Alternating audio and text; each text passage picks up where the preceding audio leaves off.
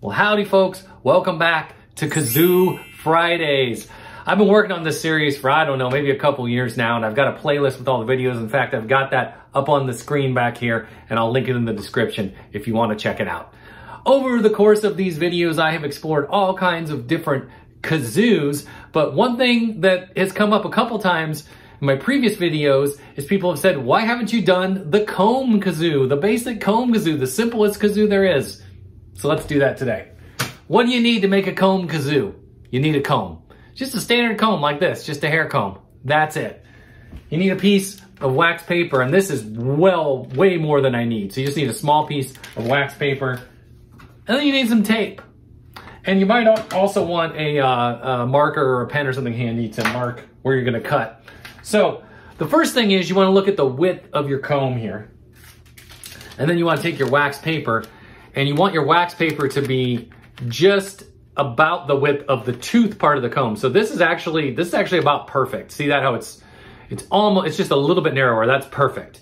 Um, and then you want it to be long enough to wrap around and basically touch the plastic like this on both sides. So what I'm gonna do here, so that's about where we want it, and then I'm gonna flip it this way and I'm gonna make a mark with my Sharpie here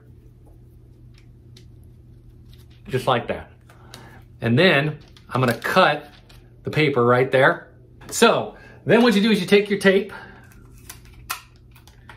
put a piece of tape up here on the top like that. Set the kazoo in there. Fold that, and again, you wanna pretty much cover the teeth like that. You wanna do the same thing on the other side. Now, some people have said uh, that it's better to use two pieces of tape and tape it, you know, at both ends. But all you're doing is just keeping the uh, the wax paper from moving. So it's not like, you know, it's not rocket science here. You just don't want it to, to move on you. And so after you've got it taped, it should look something like this. And then you kind of want to put your mouth like right about where the logo is on my comb, like kind of between the tape, I guess you'd say and you make the kazoo sound, and then you just might have to go up or down a little to fine tune it. But what should happen is the wax paper should vibrate against the teeth of the comb, and you should get a kazoo like sound. So let's try it. This is the first time I've tried this, by the way.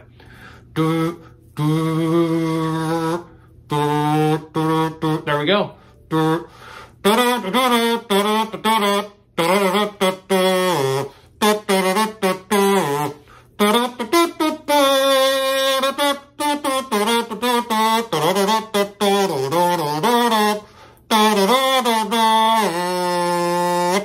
Anyway, that's how you make a kazoo from a comb. So there you have it.